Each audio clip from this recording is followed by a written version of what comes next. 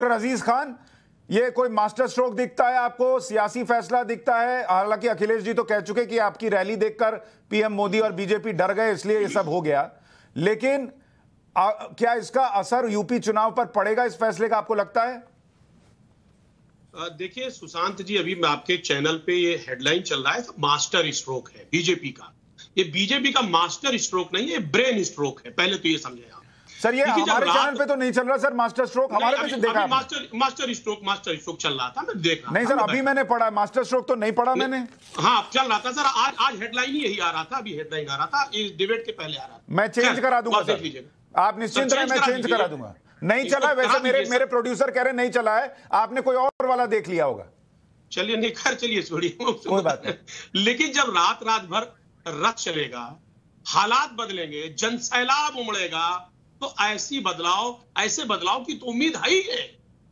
आज जो ये अहंकार और जो ये निरंकुश सरकार है, आप देखिए इस बात को कि यही सरकार इसके फ़ायदे गिना रही। कितने किसानों की मृत्यु हो गई, कितना किसान शहीद हो गया। और यही माननीय मोदी जी, किसान शहीद हुआ, किसानों पर गोलियाँ चली, गाड़ियाँ चढ़ा दी गई। एक ट्वीट तक नहीं किया, एक ट्वीट तक नहीं किया, श्रद्धांजलि तक अर्पित नहीं किया। अचानक हृदय परिवर्तन, ये बात समझ में नहीं आई।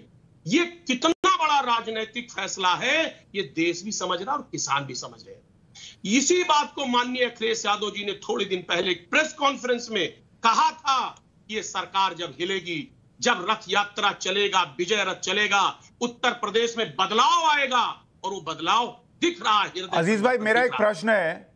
अज़ीज़ भाई मेरा एक प्रश्न है मैं आपकी और अखिलेश यादव जी की बात अगर मान लूँ कि अखिलेश यादव जी की रथ यात्रा में जो जन सैलाब उमड़ा, उसको देखकर नरेंद्र मोदी का अहंकार टूट गया और उन्होंने कानून वापस ले लिए।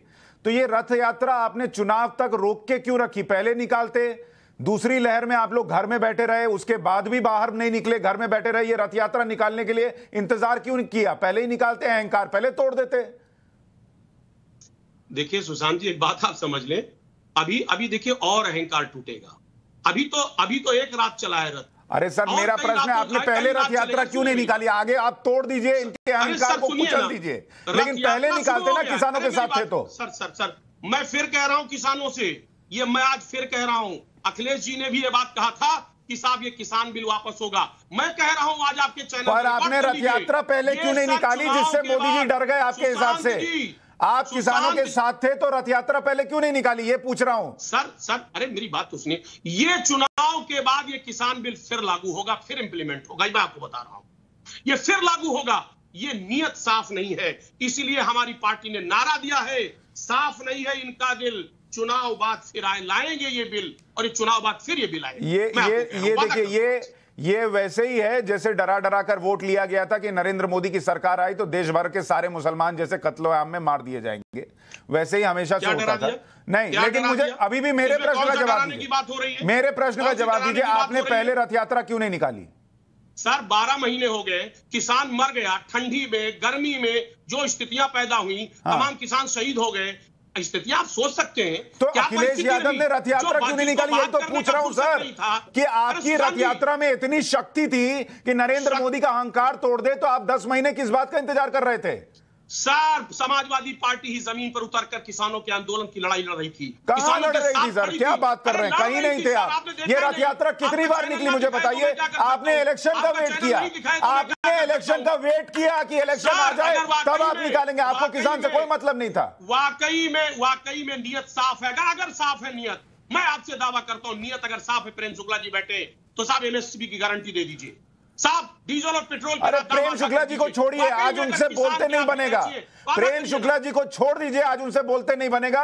मैं आपको बोल रह रहा हूँ। मैं आपसे पूछ रहा हूँ आपने रथ यात्रा पहले क्यों नहीं निकाली? ये वाली जिससे पीएम नरेंद्र मोदी का अहंकार टूटा आपके पास जवाब नहीं है।